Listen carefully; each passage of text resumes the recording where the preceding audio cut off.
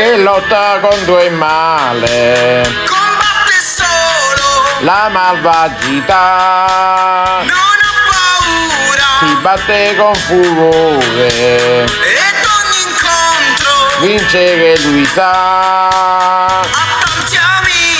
È grande la bontà. Ma col nemico non ha pietà.